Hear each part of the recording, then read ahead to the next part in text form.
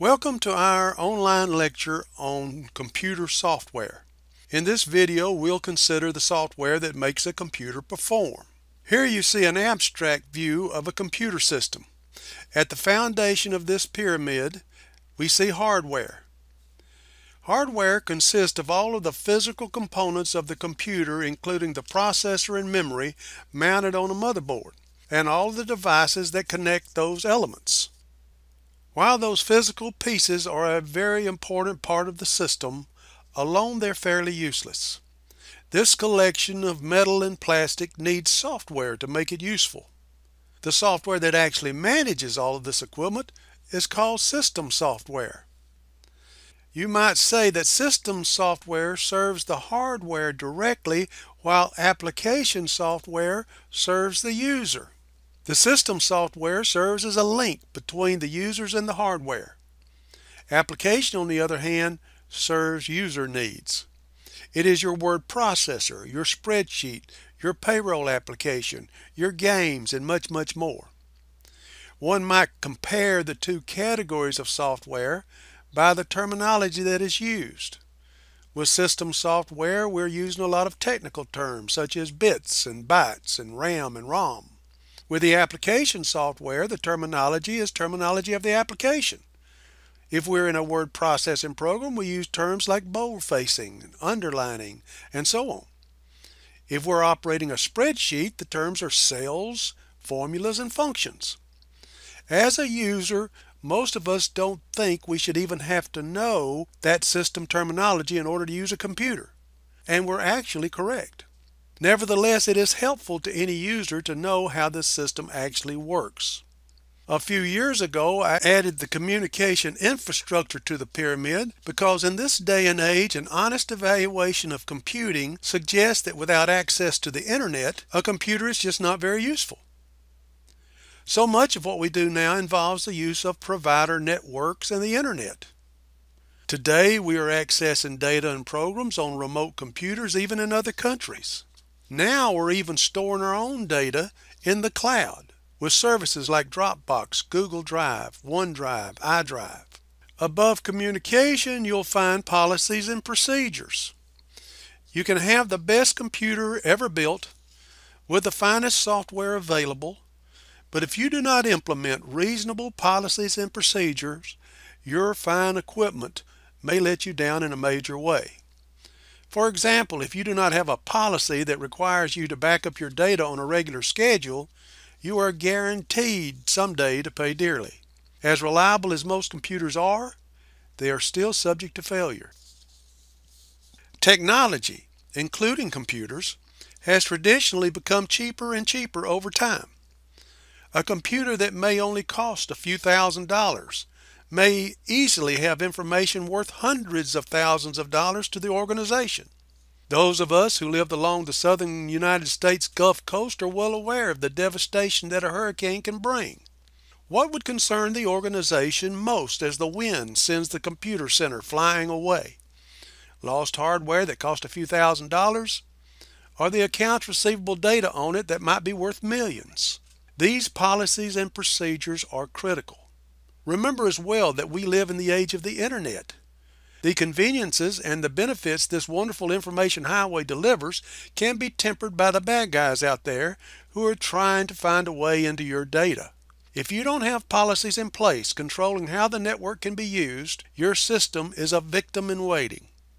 Finally, at the peak of our pyramid, we find the user. At the risk of offending, this is where most of the problems with computers lie. Untrained users, careless users, programmers who do not test their software sufficiently, and others all present the biggest risk to computer systems. Perhaps we should be aware that most failures of systems come from within our own user population. Even if we're discussing malicious software that has come into our system to do damage, the responsibility often comes down to a promiscuous user who did not implement proper internet security. Promiscuous is used here to describe a user who does not take care in selecting the sites he goes to or the software that he uses. As we proceed in this video, we'll be discussing the software layers of our pyramid in more detail. We'll start with system software. Just as the name implies, system software is software used to create and manage and use the computer system. Here are the three most important categories of system software. The operating system, translators, and utilities. Let's talk about these examples from left to right beginning with the operating system. The operating system is usually described as the resource manager of the computer. In the earliest days of computing, there weren't even programming languages, so in order to program a computer, it was necessary to manually reconfigure the switches and possibly even rewire the things. Then in the mid-1950s, the first programming languages came along, making it much easier to change the function of the computer. However, even then, it was necessary for the programmer to write code to do all the housekeeping, shall we say, of moving data around in memory, setting up the storage, and so on.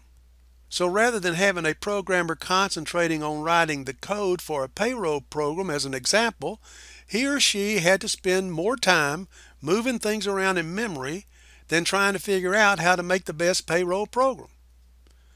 Since the introduction of the first operating system in the early 1960s, the programmer can now concentrate on the requirements of the program being written and simply have his program ask the operating system to handle that data movement chore.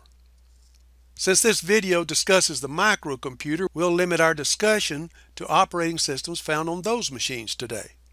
When the first micros were introduced, general purpose operating system software for that category of computer was scarce. So the new manufacturers created their own proprietary operating systems for these pioneering machines. Apple introduced the Apple II. With it, Apple DOS. Radio Shack introduced the TRS-80 and TRIS-DOS or TRS-DOS. Those are two prominent examples of proprietary operating systems. There was one popular general purpose operating system at that time that was used by a large number of computers, CPM, which stood for Control Program Microcomputers. At the time, CPM was considered more of a business-oriented operating system. One could even buy CPM for the Apple II or the TRS-80. When IBM was first developing their new IBM PC machine, they made the decision that they did not want to create their own operating system. So they started looking for a supplier. They already had a contract with a third-party vendor to create a basic interpreter for their new computer. That company was Microsoft, led by Bill Gates and Paul Allen. As the story goes, the IBM engineers inquired if Microsoft had an operating system, and Gates told them that they did not, and suggested that they contact the developer of CPM, Digital Research. When negotiations with Digital Research failed, they went back to Gates, and this time he told them that Microsoft would create an operating system for the new IBM PC. What Microsoft actually did was buy one from the Seattle Computer Company and then modify it for the IBM PC. When it comes to Microsoft's success, the rest is history. That operating system became PC-DOS and MS-DOS. The timeline for this is about 1980. MS-DOS evolved through several generations into what we know of today as Windows 8. A major part of any operating system is the user interface. All of these early versions that we've been talking about were, were text-based user interfaces, meaning that one had to input text commands from the keyboard. In other words, the user interface was called a command line interface. And the learning curve was steep. Although we can still use the command line for most modern operating systems, we are more familiar with the graphical user interface, GUI, that allows us to simply point and click to make our way through all of the operating system commands. Why don't we take a break here? Go ahead and look over your questions to see if you caught the answers for the system software that we've talked about so far. And when you're ready, come on back and we'll continue.